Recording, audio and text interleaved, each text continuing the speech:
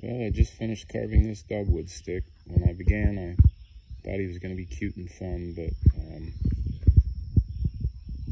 pretty sure that's not really what ended.